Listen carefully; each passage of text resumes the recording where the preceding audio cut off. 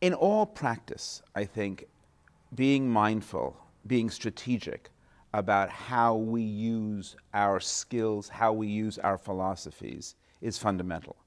So, the same way one thinks of love as a potential force for power, one doesn't walk into, you know, an urban or a rural classroom and, you know, hug every student. That's just not practical.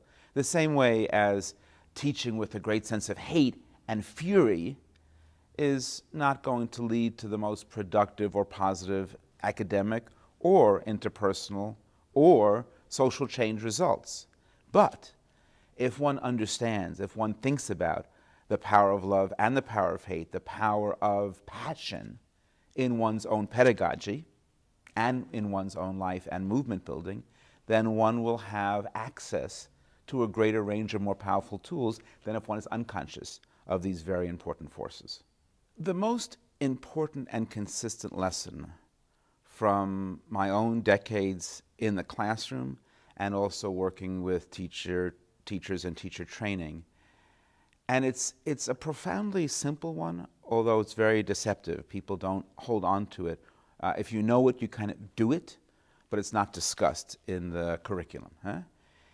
Is that young people respond most significantly to respect. And they respond also to the truth. And often their antennas are very finely tuned. So if one comes in to a classroom, any classroom, math, biology, history, if one comes in, an early childhood classroom where you're teaching all of it, and the early childhood educators often know this better. But the fact of the matter is, if you come in sick, they'll know. If you'll come in unhappy, woke up on the wrong side of the bed, they'll know. But that's also true if you come in with a sense of hopelessness, with a sense of fury, with a sense of disrespect. I really don't like what I'm doing. I really don't love these students I'm teaching. Their lives don't really matter to me. And then, at the end of the day, if you, as a teacher, find out that you've been disrespected, what a surprise. If you go in with respect, with the truth, with your own honest self, no matter what you're teaching, you will most likely get it back from at least the vast majority of students you're teaching. And to me, that says a lot, not just about how to become a good teacher, but how to become a good organizer and a good person. It also connects this concept of good pedagogy based on respect plays a significant role in the propagation of peace education. Because for me, peace education is best actualized in the classroom when one begins to encourage students to think critically and to name their own realities. Look, it can be, it can appear to be easy, for example, for some history teachers. Ah, I'll teach a little bit more about the peace activists after the bombing of Hiroshima and Nagasaki. I'll teach more about the protesters against the Vietnam War.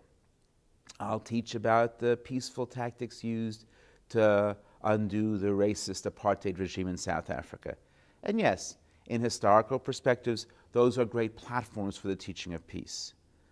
But if we're going to go deeper, if we're going to do the essential work of integrating peace education to every field of the social sciences, to every aspect of the institutions that are education building in our countries, if we're going to do that, then we have to be more than just good historians.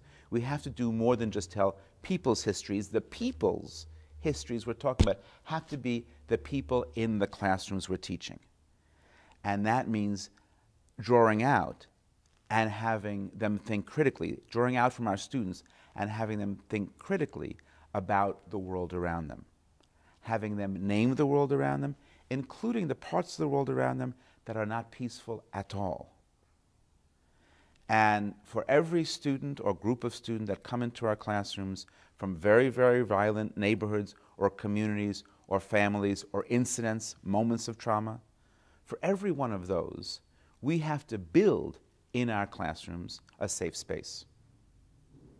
Our schools cannot be institutions that are factory like, focusing on production and the churning out of these degrees, each of which is attached to a number from a standardized test. Our schools have to be communities of peace. They have to be safe spaces where people can take the violences of their own experiences, personal and political, and leave them outside. And if we do that, we're bringing peace education to the classroom on the deepest and most effective possible level.